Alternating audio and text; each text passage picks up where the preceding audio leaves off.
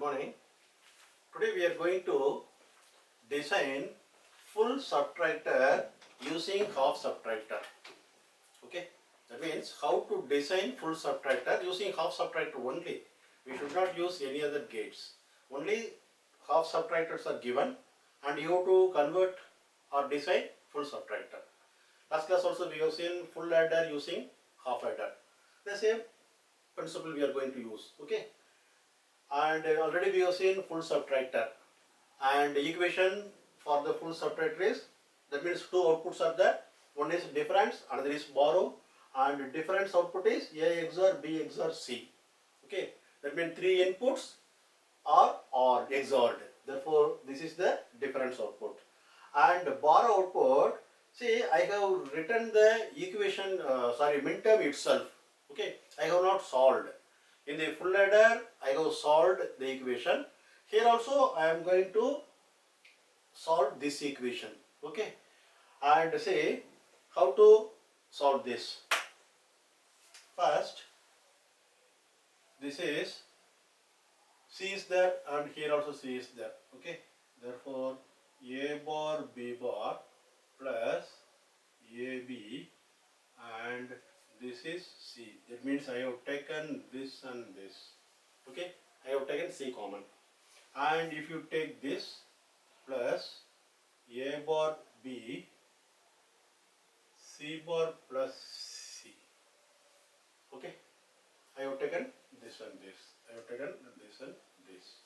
Now this is X nor. Okay, this is XNOR plus this is a bar b. c plus c bar is equal to 1. Therefore, already you know this is equal to 1. Therefore, this is why I am simplifying like this because in the half adder, okay, sorry, half subtractor, half subtractor, you are giving two input a and b and you are getting two outputs what are the two outputs? One is A bar B, another is A XOR B, another is A XOR B. Okay. In the half adder, you got only AB. Here, complement is there. Okay. Therefore, I have taken this type of form, complemented form. Okay. Now, we have to go for another half subtractor. Therefore, another half subtractor,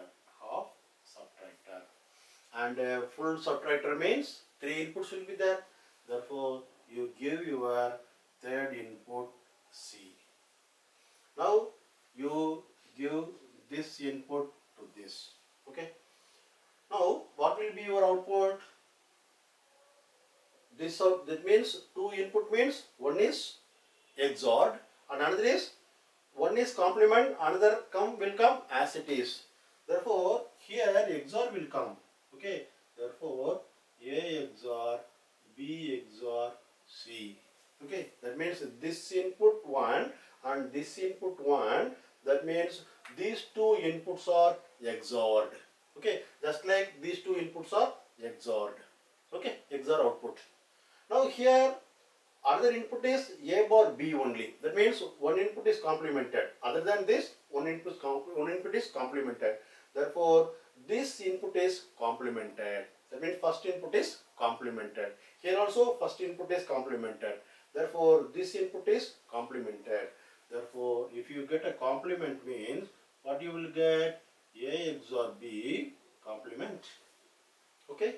This first input is that means this is the first input, this is second input. First input is complemented with the second and another input is two inputs are XORed. Here also this is one input, this is another input. This is one input, this is another input. Therefore, in the second, it is a XOR form and the first is one is complemented and another you have to go for a multiplication. Okay, that means A bar B. Here this input complement by multiplied by C. And what will be your borrow output? This is your borrow output.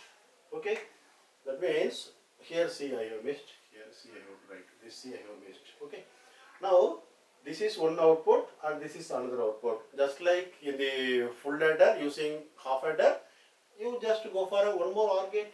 Therefore, you go for one OR gate here. You go for one OR gate, and this output goes to this input, and you take a lead from this and go this. Actually, this in output is not there. Okay, output is there, but I have we have not taken this.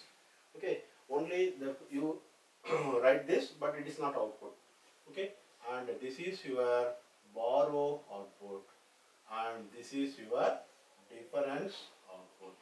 Okay, now using two half subtractor, we have designed full subtractor. Additionally, we have used one OR gate. Okay, we have not used any other complicated circuit. Simply two half subtractor, one OR gate. There also two half adder and one OR gate. Okay, thank you. Please subscribe and comment.